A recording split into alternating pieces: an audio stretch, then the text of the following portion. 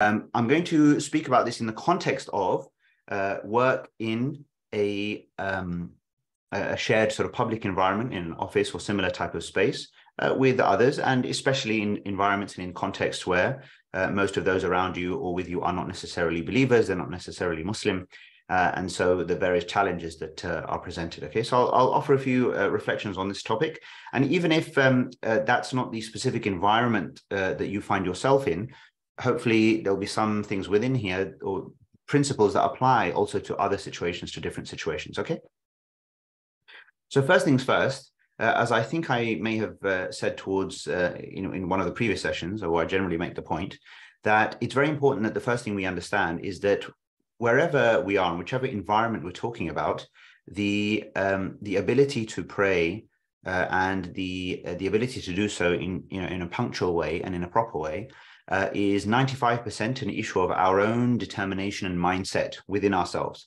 So oftentimes we think about the external factors, you know, praying in a vehicle, praying in, in in an office, praying in a you know out and about when I'm out and about in the in, in the park, for example, or shopping, or here, there, wherever, right? Whatever the situation is, we will find ourselves in all sorts of different external environments. But the main determinant, or the main thing that's going to make a difference as to whether you actually offer your prayers on time or not, wherever you find yourself, the main thing is your own mindset your own willingness, your own determination. Okay. So that's the first things first to make sure that that's the case. So you have to have a genuine desire and a will that I want to be able to offer my prayers on time and I want to do them properly, regardless of where I find myself, and therefore including the work environment as well. So that's the first thing. Uh, second thing, one of the things I talk about in the Transform My Prayer program, which uh, hopefully you will uh, recall if you have, especially if you've been recently doing this uh, in, in some of the opening sort of sections, is the issue of or the importance of being open uh, and confident okay, with, with others. So oftentimes I've come across situations where people simply don't have the confidence to let other people know around them that, that regular prayer is something that they are committed to and that they want to do. And so because they don't feel that confidence, they feel shy of either uh, saying that or admitting that, you know, as if it's some sort of a, you know, crime or a mistake. Then because of this, they never open up they never say they never say anything and the longer that goes on the harder it becomes because then it's like you know well why would i mention it later on i never mentioned it earlier kind of thing you know uh, and in some work environments depending especially if it's larger offices potentially you know uh, you you will get um, uh, you will get different sort of muslims or believers who are uh, who then project very different uh, sort of attitudes towards the prayer. Some very committed and clear and open and confident and others um, and others very much kind of you know quiet and, and not mentioning it at all uh, and, and and and not doing it because they just almost feel frozen right in terms of the um, in terms of the situation. Okay they're lacking the confidence. Now uh, one when one does have the confidence to uh, you know, to, to want to be able to pray, then I think it is important to be then open. So another situation is a person is praying, but they're kind, but no one knows, right? They're sort of stealing away, right? They're, they're going away from the desk, from the, they're taking the time out, whatever have you. All right. And they're, they're going off and doing it, but in their immediate kind of environment, their immediate team or whoever they work with, no one really knows because again, they don't necessarily want to say it. Now, at certain points in time, that becomes can become kind of difficult because obviously, say in certain periods of time when the days are short, and if you're leaving multiple times, potentially during the uh, during the day, uh, to offer your prayers, uh, then it can become a, uh, a sort of um, uh, you know something that is obvious, that is clear to others, but it's not exactly clear what is going on. So again, you why leave the uncertainty? Why not just simply share it or mention it? So I recommend to people that once they, uh, you know, at the start, especially at the start of new jobs, ideally, right, when you start and once you've started a new job, then you would speak to the relevant people right? And you're not trying to do this in a way of um, you know you're uh, sort of a, a, some you know like a, sort of a, a major uh, like a major announcement or anything or, uh, or, or, or to prove a point right or anything else. Nor uh, are you seeking permission as such or being apologetic about it. You're simply saying that this is what need this is what this is what i do um, and i'll be taking some time out to do that okay uh, so, so that's an, an important thing just to let people know. What you're doing is just letting them know. You're not necessarily seeking permission. Depends on the situation, obviously, and depends on the dynamics of the particular environment.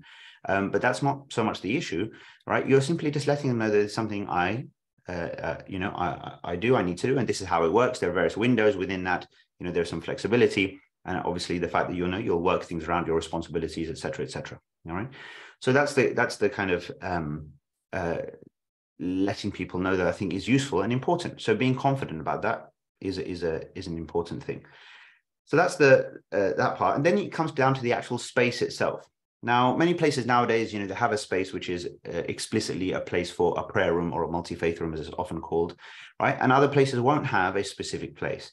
Now, if there isn't one, then again, depending on the nature of the firm, the company, whatever it is, you speak to the relevant people. It could be there could be a human resources department, uh, there could be you know your immediate manager or their manager, for example, or the, the person who's leading, all right, and say that um, uh, uh, and say that yes, like this is a this is a uh, and, and basically look to have the discussion to see if there is an appropriate space that can be used.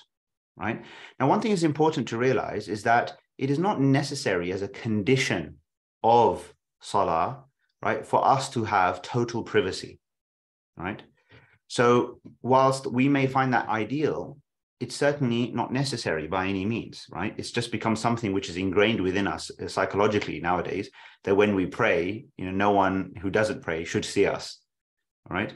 Uh, so obviously our mosques are walled and closed for obvious reasons, uh, or we pray in our homes, uh, or we look to pray in complete seclusion, okay, when we are out and about.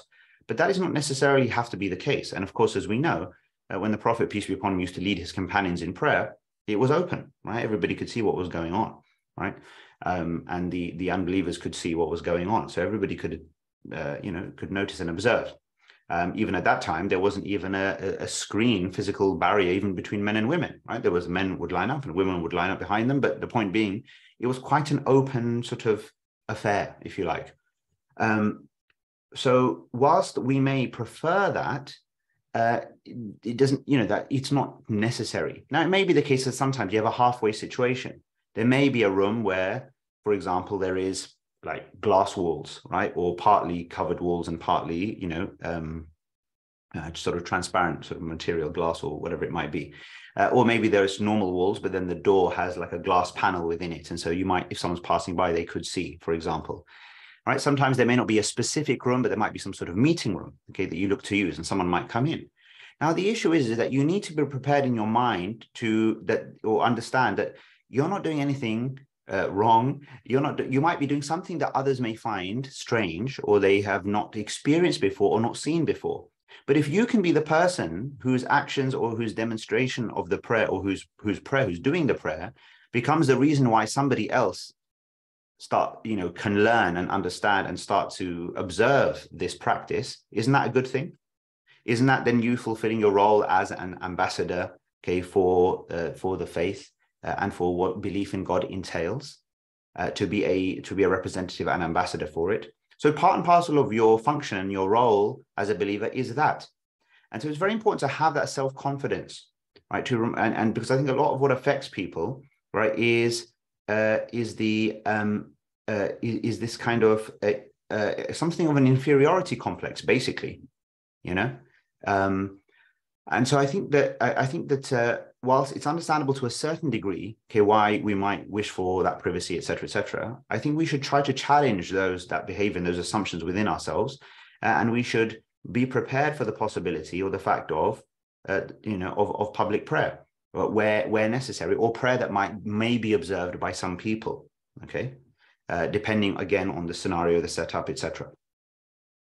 So that's something which I think is important to uh, to, to to bear in mind. I mean, even um, some of you might uh, you know be aware that uh, some some months ago or some time back, uh, my oldest daughter started to uh, you know pray in school. I shared it on the Telegram group some time back. So you know, so those of you who were there, you might have seen that.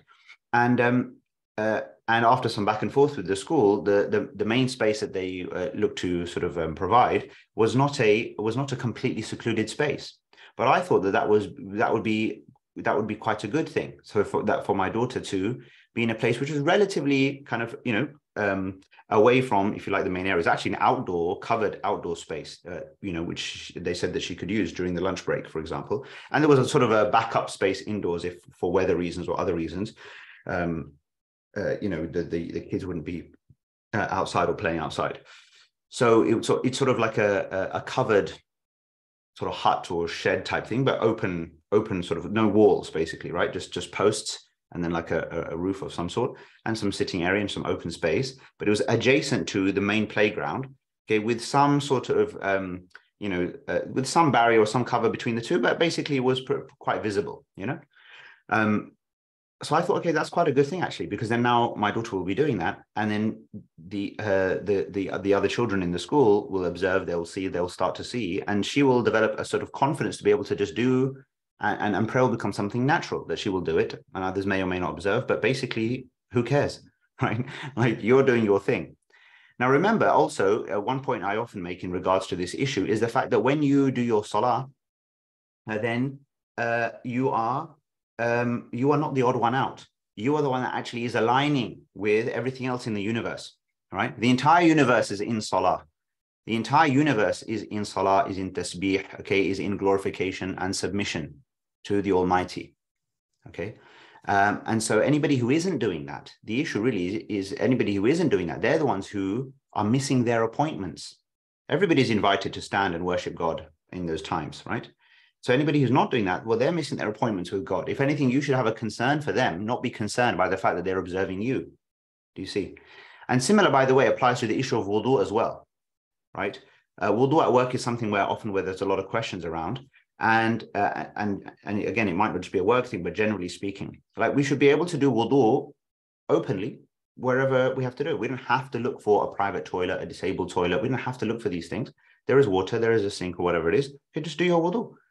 Um, now clearly there are kind of uh, provisions or things that can facilitate or make it easy in terms of you know wiping socks etc uh, which and obviously feet and washing feet and everything is the most difficult uh, aspect of the wudu in those kinds of environments um, and so you can do your wudu before you uh, leave uh, for, for, you know, for leave that your house before you go out in the morning. Uh, do your wudu, make sure you're wearing, and then wear some socks in the state of wudu. And then after that, you can simply wipe your socks, okay, throughout the day uh, to do your, to do your wudu. Um, yeah. So I think this is the thing. So one, one last couple of uh, one or two points I'll, I'll mention is that, um, uh, yeah. So one thing is, is that you need to also have a degree of uh, flexibility uh, and also a degree of balance. Okay, so um, if, for example, you know, either on a particular day or generally speaking, it is a stressful work environment, it's a busy work environment. There's a lot of dependency. Okay, there's a lot of dependency on uh, on your you and your role happening in a certain way. You know, for others in your team or those who are around you, etc. You want to uh, make sure that, or you want to try your best to make sure that you're you're you're doing your salah doesn't become the reason that, or a, perce- a perceived reason by others as to why things are now, for example, you know, going wrong or not happening as they should happen. Do you understand? So if you need to make up for the time to make sure things happen and as they should have happened, then make sure that you do what you need to do to make make it happen. So don't let complement your doing your prayer with excellence in your work. All right. So then so these two things come like come across together and uh, you project a positive image, both in terms of the excellence and the professionalism with which you do what you do. You show good character, you show honesty, you show integrity, professionalism, care, diligence, all of the good qualities that you should be showing as part and parcel of any kind of work that you do, right? And that commitment and everything else. And display those and, and then and, and simultaneously be dis- disciplined with regards to your prayers. So these two things coming together okay, is the best way of making sure that um, you know, uh, well, you're doing justice basically to everything that you know. Everything has its place, and you need to do justice to everything that uh, that is your responsibility.